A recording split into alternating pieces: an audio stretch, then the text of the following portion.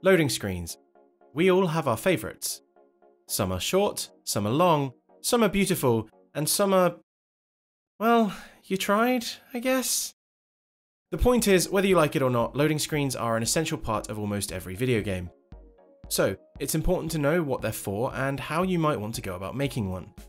Let's imagine for a moment that our player is a member of the audience about to watch a stage show. The show starts in less than 5 minutes and none of the sets are on stage yet. So we need to get the set for the first act on stage before the show starts. You may choose to just start building the sets and have the audience watch the crew build the set and then watch all of the actors get into their starting position and awkwardly assemble before the lights go down and the show actually starts. Or you draw the curtain. With the curtain drawn, the crew can run around hectically before the show starts and the audience can experience a smooth start of show with no idea what was going on just seconds before that curtain was drawn. If you haven't gathered already, the curtain in this analogy represents a loading screen. So, let's take a look at how we can create our curtain. Hi there, I'm Matt and welcome to Game Dev Guide. In this video, we're going to take a look at how we can create a loading screen in Unity. We're going to look at how we might approach managing our scenes, and also a few different ways we can use a loading screen to our advantage. I've got two scenes here, a super lightweight menu with just a few pieces of UI, and then an extremely detailed environment that I'd like to load into.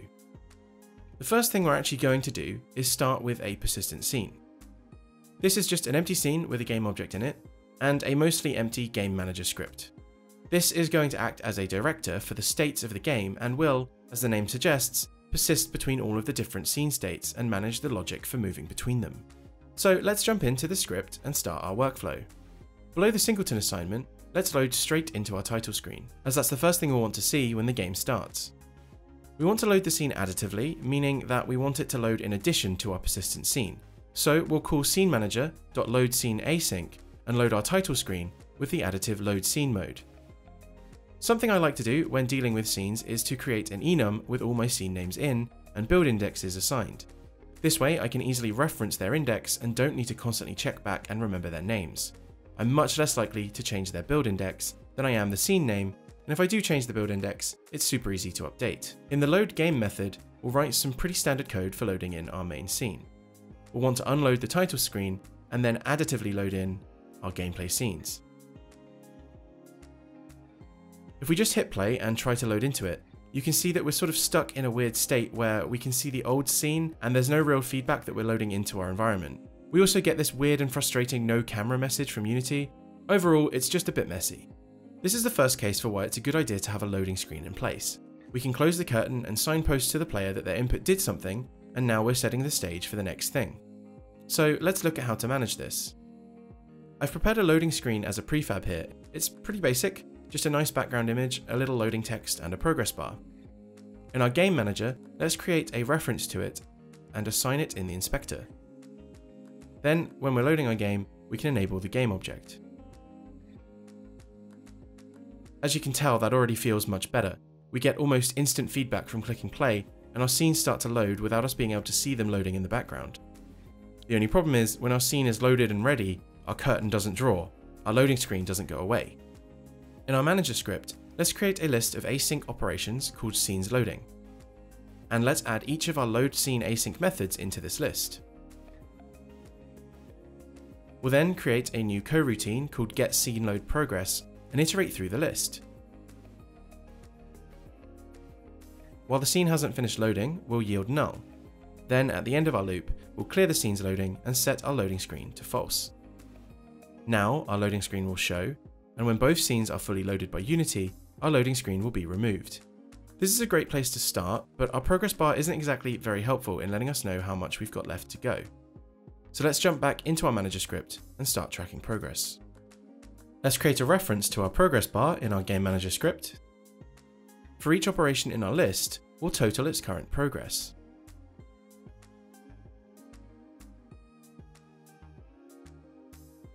Then, we'll divide our total by the number of scenes in our list and multiply the result by 100 to get its percentage for our progress bar.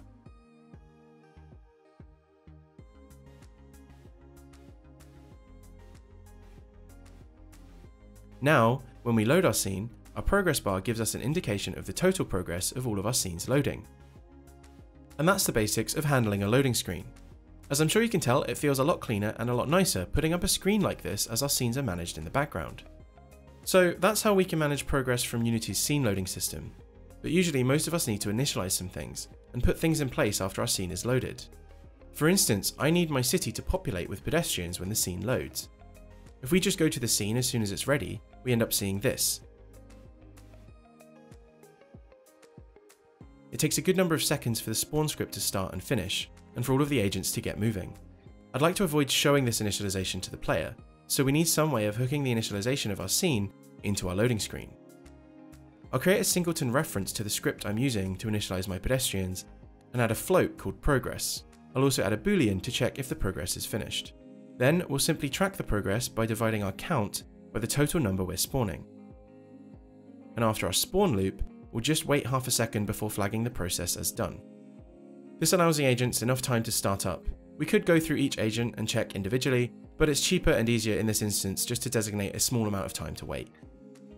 Back in our loading script, let's create a new coroutine called getTotalProgress. We'll use this coroutine to calculate the progress of both our scene loading and our initialization progress.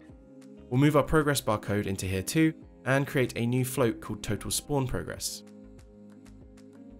We'll create a while loop that repeats if our initialization script hasn't loaded yet, or if it isn't done. In here, we'll either set the spawn progress to zero if our script is null, or get the progress directly from the script, and we'll multiply it by 100 to get the percent. Then, we'll calculate the total progress by adding our scene progress and our spawn progress, and dividing them by 2. Then, by assigning the result to the progress bar, we get the total result. Once the loop is complete, we can remove the loading screen. Now, our loading screen shows feedback for both our scene loads and initialization. By hooking these into coroutines like this, we can create feedback points for different stages. It can be traditional in loading screens to tell the player just exactly what's going on and what they're waiting for. So, with the extra information we now have, let's take this one step further and hook that into our loading text. Let's create a reference to our text field and assign it in the inspector. Then, in our script, let's format a string for when our scene is loading.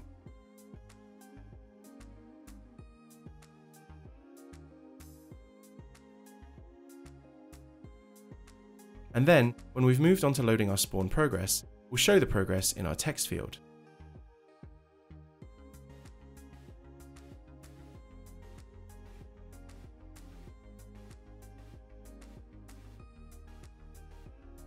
If we were to add more things to initialize in our scene, we could create an enum for each stage and assign the current stage in our initialization script.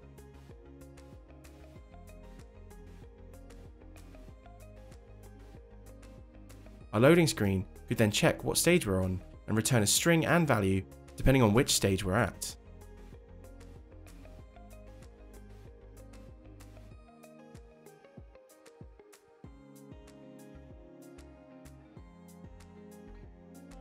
So, that's more or less the basics of dealing with scene management and initialization progress. I could wrap it up here, but as you probably know, I'm never one to do things by half measures. If the player is going to be staring at a curtain regularly, you probably want to make that curtain as interesting or as helpful as possible. And there's a few simple things we can do to make it just that bit more interesting. The first thing we could do that's a core trope of a loading screen is changing up the point of focus. Let's create an array of sprites and a reference to our background image.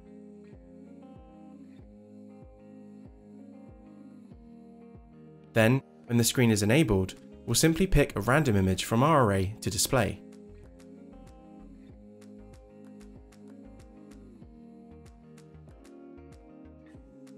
Now, as much as we'd hate to admit it and keep loading times short, some hardware may end up taking quite a long time to load these scenes, so we might as well give people something to read while they're waiting. This is the perfect time to give tips to the player about your game. Let's create a pool of tips that we can slowly iterate through. We'll create a new TextMesh Pro field on our loading screen and set it up to hold our tip text.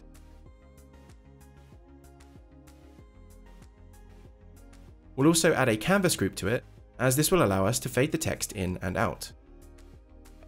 Then in our manager script, let's create a reference to our tips text field and also an array of strings for our tips. In Unity, let's assign the tips text and write out our tips.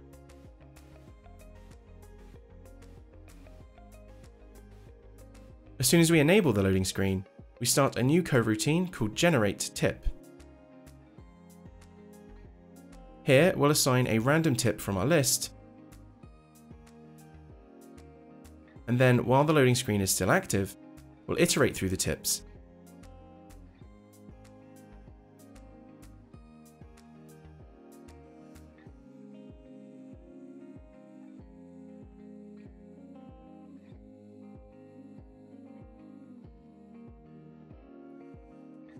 With just a little bit of extra work, we've created a much more interesting and more dynamic loading screen.